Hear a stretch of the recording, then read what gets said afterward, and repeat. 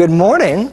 So I gave it to I passed it in. He passed it to her, and then she, her passed it What are you guys talking about? What is it that you're passing The around? Oh, the cross. Cool. You guys have a little cross necklace that you're passing around. That's neat. Do you know that that's exactly what you're supposed to do with those? When you have a, one of those cross necklaces that, that I often hand out to you guys, you're supposed to wear them for a little bit and then you're supposed to give them to somebody. So you guys are doing just as I asked. How wonderful of you. Um, Daddy has one too. Great. Great. So I wanted to ask you guys a question this morning. What do you do when you're scared? When you're scared, think about, think about a time where you might be scared in life, whether something startles you or whether you, whether you hear a noise. Uh, So, You get some. You ask for light. okay, you ask for light, so you're thinking about maybe if it's in the dark or something, and you're scared, you say, Somebody turn on the lights! Right? Good. Wesley, did you have one? Right, Jesus. Oh, you, so you pray to Jesus when you feel scared or afraid? Good. Yeah, that's a good answer, bud. Annabella, what do you do when you're scared? What, when you're startled by something or afraid of something? What do you do? Get my night light on. You get your night light on. That's a good one, too. I had a night light on. Do many of you guys have night lights? Little lights in your room? I have one. You have one, too, Oliver? Great. I'll be silly with it, please. But somebody turns it off, but I still go to sleep. Okay, you still go to sleep. Great. Anybody else? What do you guys do when you when you feel scared? Does anybody ever scream when they feel scared? They go ah. Some people do that. Okay. Yeah. You maybe scream when you get scared. You say, "Daddy, mommy." Yeah, right. I know that some of you guys do that. Can I tell you what I used to do when I used to get scared? Actually, I'll show you. When I used to get scared, when I was a little kid, Cuddle with your blanket. no, I didn't cuddle with it. I used to do this.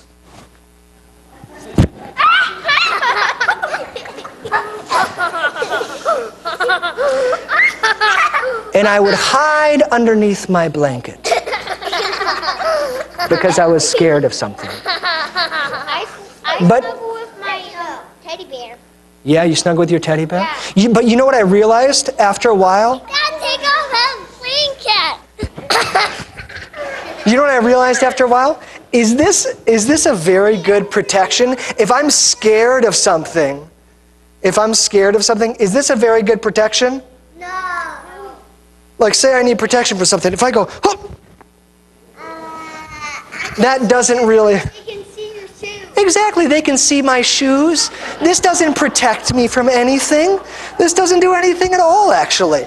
It maybe keeps me warm at night, okay, and it's nice to snuggle with. And if I need some comfort, I might put my head on, but it doesn't protect me. It doesn't protect me. I'm like, well, if I get I, Jack, I let's would cook in. raise your hands, please. Wesley, yes. If I'm scared, I like, Yeah, sometimes you hide underneath a blanket. Have any of you guys ever done that before? Where if you're scared of something, you hide underneath the blanket? Yeah. I did that before. Let me tell the story. Okay, okay. So here's the here's the point though, guys. Obviously that struck a chord with you guys, okay? Let's wait for a second, okay? Let's wait for a second. So the the issue with a blanket is that it doesn't provide very good protection. Okay? It doesn't it doesn't doesn't keep us safe. All right? It might keep us warm, it might keep us cozy, but it doesn't keep us safe. Okay? You know what uh, does keep us safe? What the Bible tells us does keep us safe? Running from I scream very loud. I sc- oh, you scream very loud. yeah.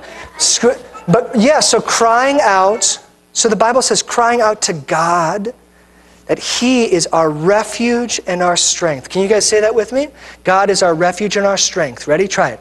God is our refuge and strength. Try again. Ready? God is our refuge and strength. God is not like a flimsy blanket, okay?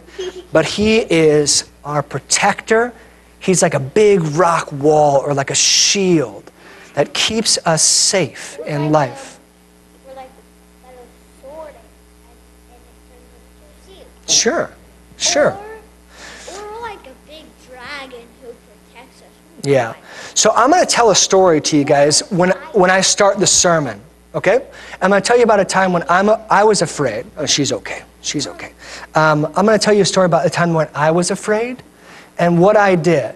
But what I want you guys to remember is that God is your refuge and strength. And if you're ever scared, if you're ever afraid, that you can call upon Him, and He says that He will protect us and guard us and keep us safe. Yeah, that's right. That's right. Okay, did you want to share a little story? Um, so, so, um, one time my dad was chasing me. He was chasing me into my room. And, um, and before he got in the door, I jumped into my bed and, hi- and hid it under the That's right. Hid under the covers. That's right. That's right. So, guys, let's. Wesley, we're going to pray now, okay? We're going to pray to God, who's our refuge and strength, okay? Let's pray, guys. Heavenly Father, we thank you for being our refuge and our strength. Lord, we pray that we would not fear because we're confident that you keep us safe in all things in life. It's in your name that we pray. Amen. Amen. Okay, guys, you can head back to your seats as we sing our song together.